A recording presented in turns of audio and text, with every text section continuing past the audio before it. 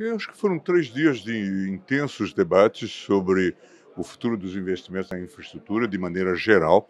Discutimos uma pletora de assuntos, desafios existentes para o mundo e para o Brasil e o que é possível fazer em termos de cooperação. Acho extremamente importante que tenhamos logrado fazer este evento dentro das circunstâncias existentes. Eleições no Brasil, Copa do Mundo a iniciar-se e a necessidade de que, se, que fizéssemos ainda este ano para ter, de alguma forma, eh, influência já eh, nos planos governamentais no próximo ano. Por isso trouxemos, inclusive, eh, possíveis integrantes do governo. Acho que foi extremamente útil e o FIB, mais uma vez, cumpriu a sua missão, que é essa missão de integração entre Brasil e Europa a partir de Portugal.